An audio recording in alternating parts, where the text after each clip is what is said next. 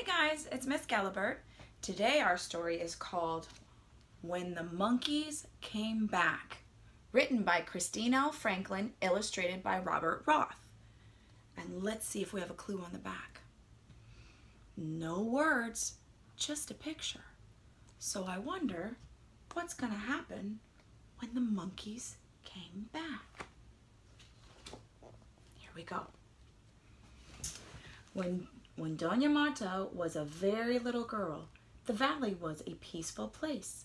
Children giggled as they chased each other between rows of tall corn.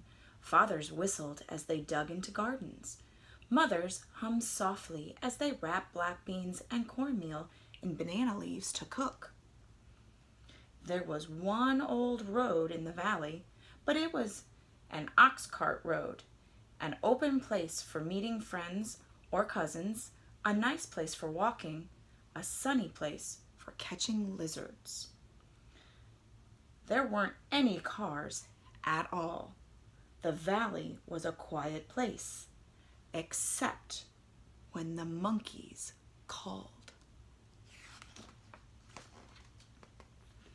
Every morning and every evening, for as long as anyone could remember, the monkeys announced the changing of night into day the changing of day into night.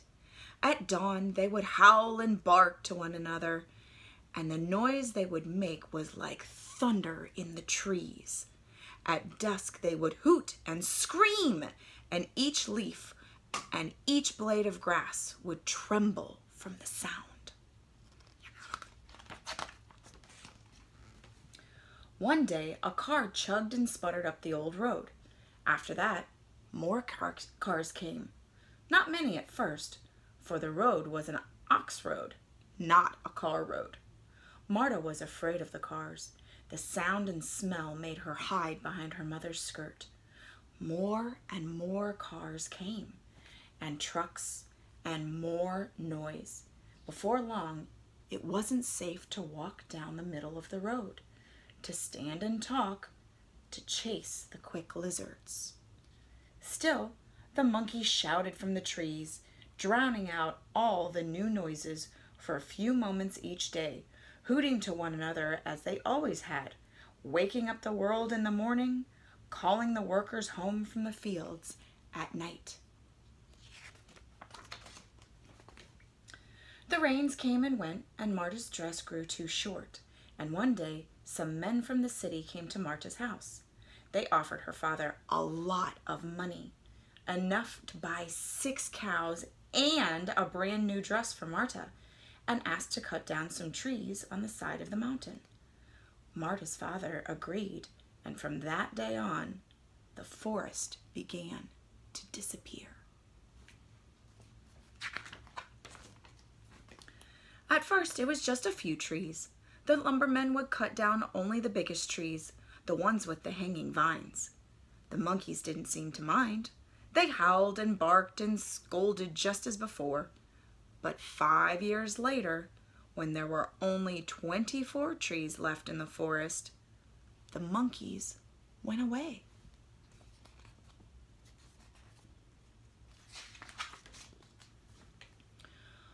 Marta didn't know where the monkeys went. One night, just as the sun slipped behind the hills, the monkey shrieked and hooted and cried louder than ever before. Someone said it was because of the full moon. Others said the rainy season was near. But the next morning, the valley was as silent as a stone. Over the next several years, the last of the trees were cut down. What had once been a forest was now covered with stumps and tangled brush. There were a few birds, but no monkeys. Most people forgot about the monkeys. They had roosters to wake them up in the morning, lamps to work by at night. But Marta didn't forget.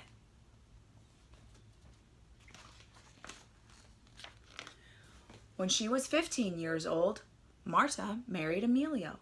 Emilio worked for Marta's father, and when her father died, he left the farm to Marta and Emilio. You have a lot of land now, said Marta one day.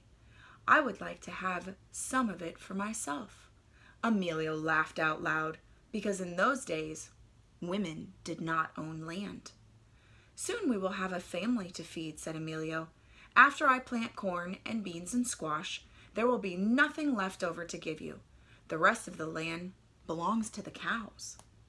What about the land on the side of the mountain? asked Marta. There are too many stumps for a garden, and it is too steep for cows.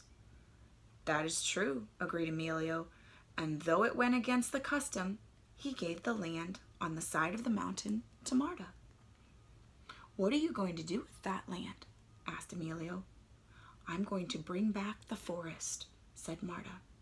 And that is what she did. Marta planted trees from the foot of the mountain to as far up as she could climb.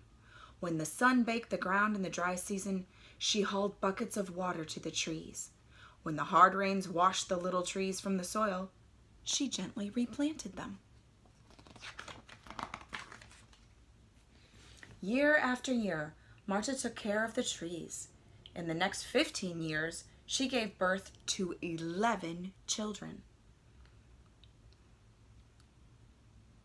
Each child learned to plant and tend trees.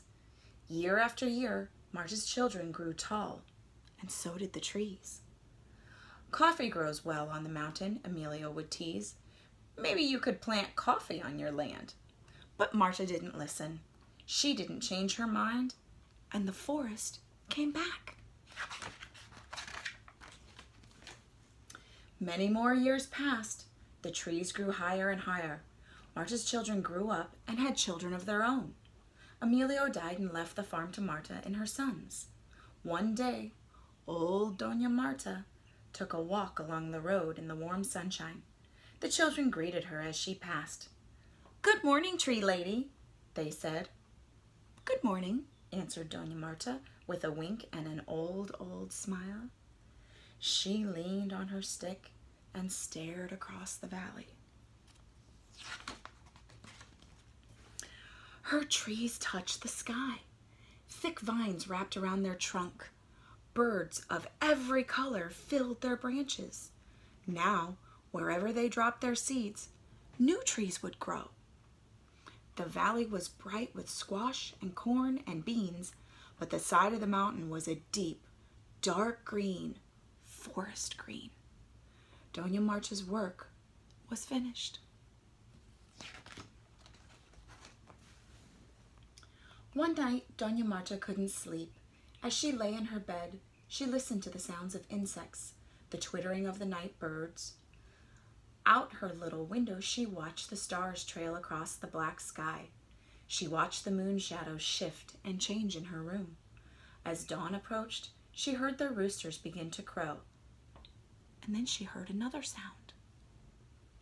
At first, it sounded like a barking of dogs, but soon barking turned into howling, the howling into shrieks, the shrieks into shouts, and every leaf and every blade of grass trembled with sound. Dona Marta hobbled to the window and leaned out. The dark air thundered with the sound of the monkeys, hooting, hollering, screaming from the tops of the trees, waking the whole world once again.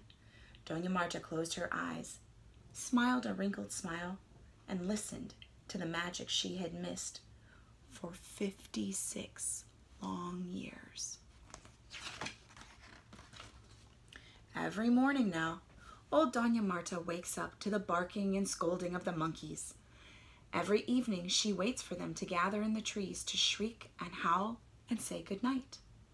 For a few moments each morning and evening, the sound of the monkeys drowns out all of the other sounds in the valley for a few moments each day, it's as if nothing had ever changed.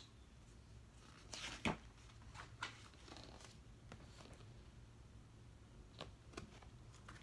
end. And the monkeys came back.